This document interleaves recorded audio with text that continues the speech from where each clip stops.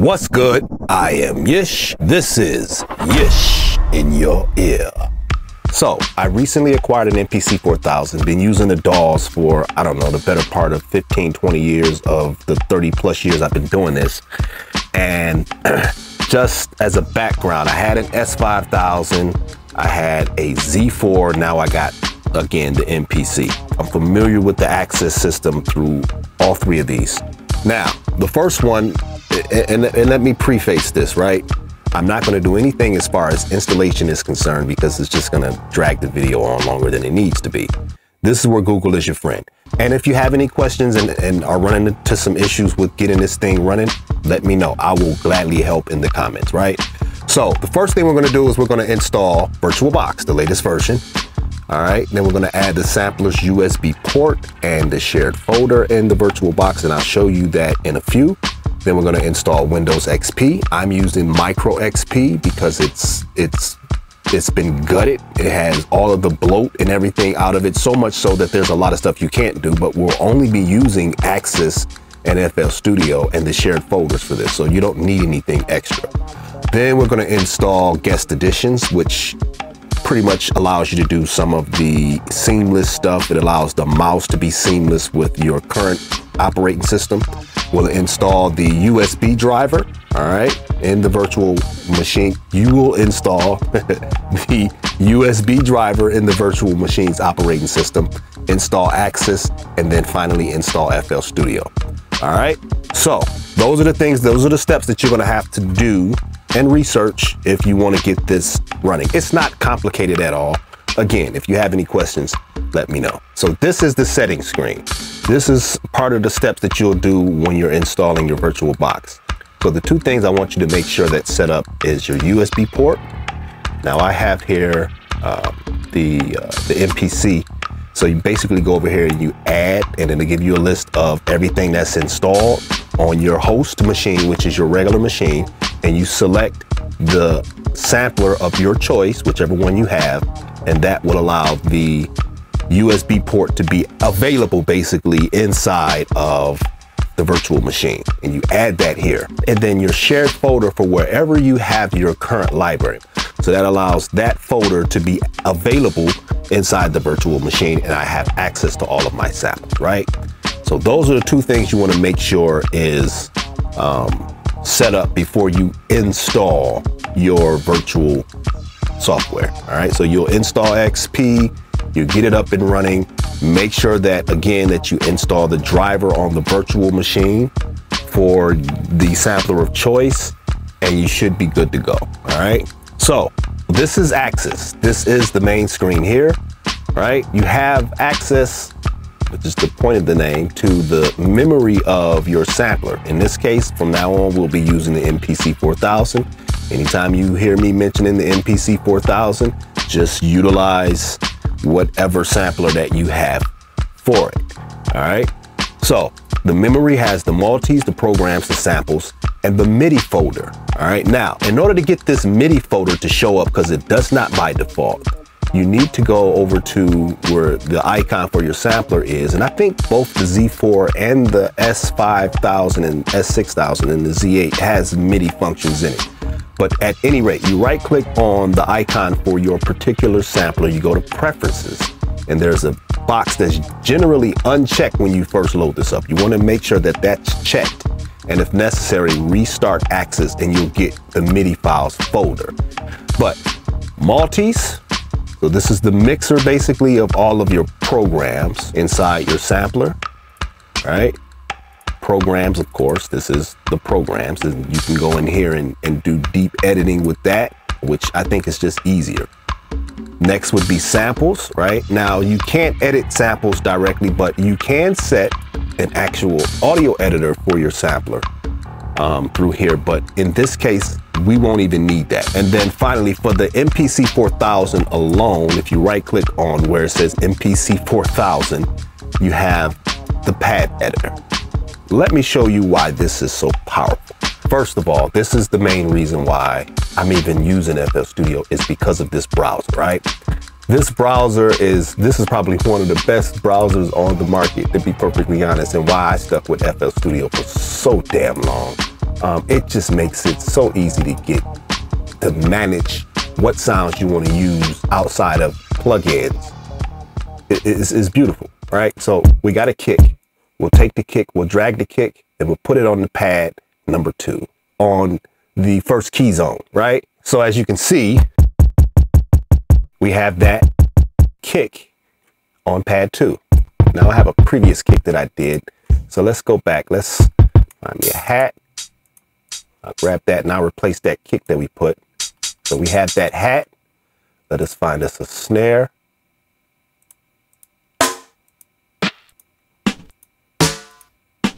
All right, boom. Easy peasy, gets out of the way. I wish the newer ones had such things in it, but from what I've read, it doesn't. You just get access to the drive. You can swap out the banks up here if you were so inclined to do things by um, key groups, then it would be best to do it here. But even still, um, this is not set up as a key group, it's set up as a, as a drum program. So all of the editing that you do inside of the MPC itself, you can do here. So for instance, this is C sharp one. So if we go to C sharp one and click that, right?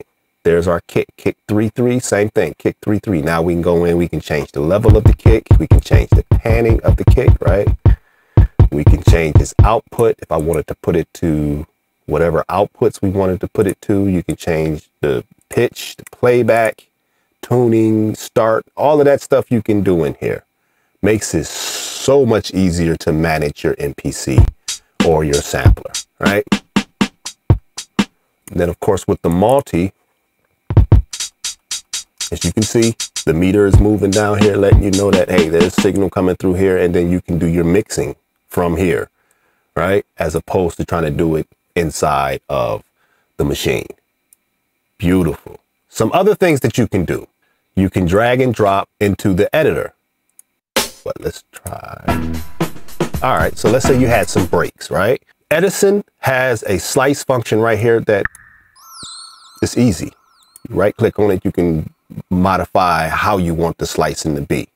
Now, one caveat to this editor, right here it says 16-bit, it also has a 32-bit function. If you load up a sample and it says 32, click this to make it 16-bit. These samplers don't support floating point, so you want to make sure that this says 16-bit.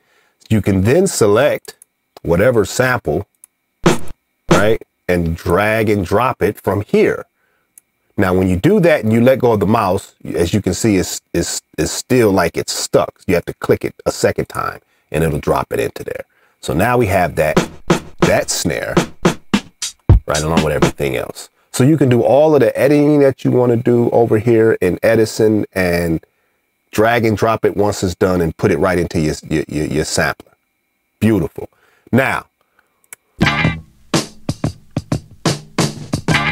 so let's say we wanted to do some processing, right?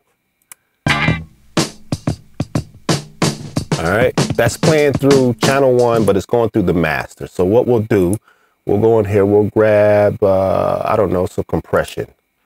So we have a compressor here. We can trigger this. Throw some compression on it, right?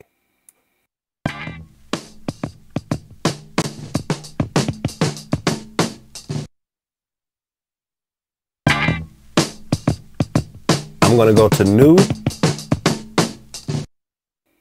I'm going to hit record. I'm going to trigger the sample.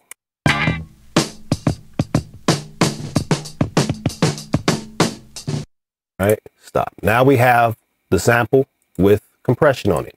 I can go to tools, we can go to normalize, hit play.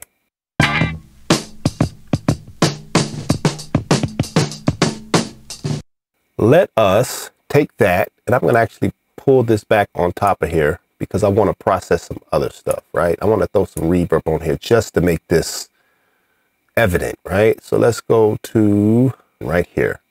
Fruity Convolver. My favorite preset is the 250. And I'm gonna hit that again. And make sure it's on.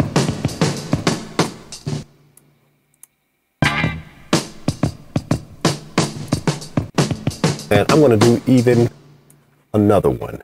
Zoom in on that. I'm gonna grab just this snare that has compression on it now. And I'm gonna grab a little bit before it just so we get everything we need. I'm gonna drag that onto here, right? So now we have that with the reverb.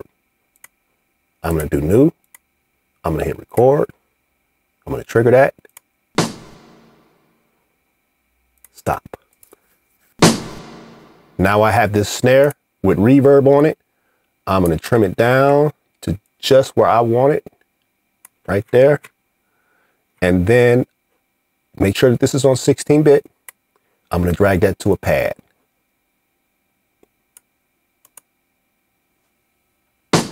Now I have that snare in here. Right? Now, if I go to the program editor, this is on E1, right? So if we go to E1, which we have selected right now, you can see, switch that to one shot.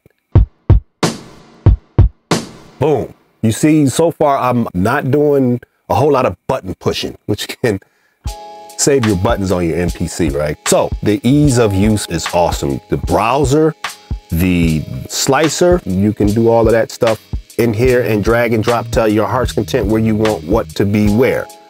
But that's it, man. I really, really wanted to just highlight, you know, what this thing can give you.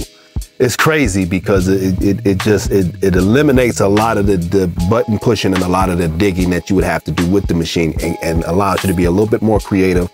And not only that, it allows a lot easier processing of plugins on your sample. And even with the newer MPCs, um, it's still functional. You don't get the, the great management that you do, you know, with uh, with the memory of the machine, but you can still do all of your processing and editing and all of that stuff and drop it, drag and drop it right onto the uh, the folder or the hard drive or to the, the MPC, the one, the X, and the live. So even with those, this still can be utilized. As long as you have a USB connection for anything, I think, for any sampler that allows you to access the hard drive and have a symbiotic relationship between the computer and your machine, FL Studio is the one to use for sample management. All right. But that's it. This has been Yish your ear, showing you how to utilize the ak.Sys software in a virtual machine with FL Studio. If you are interested in more, you can check out my YouTube channel, Yish in Your Ear. I got mostly software reviews on there and a couple of tracks and whatnot, but stay tuned.